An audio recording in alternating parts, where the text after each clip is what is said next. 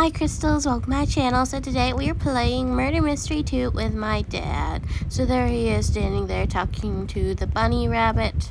And now the map is loading. Come on, load faster.